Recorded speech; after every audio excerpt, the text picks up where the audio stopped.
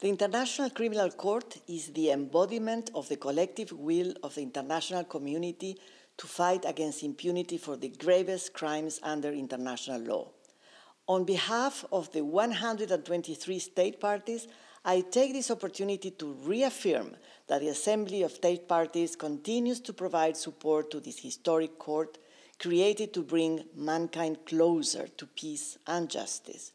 It is also a resolute decision to safeguard this independent and impartial judicial institution in undertaking its mandate effectively and efficiently within the legal framework of its founding treaty, the Rome Statute. Today, we celebrate the Day of International Criminal Justice, standing together in an unwavering commitment to uphold and defend the values and principles enshrined in the Rome Statute and preserve the integrity of the court.